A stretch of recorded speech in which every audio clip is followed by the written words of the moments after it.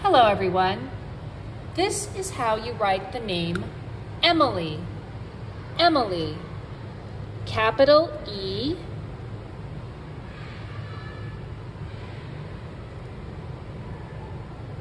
M.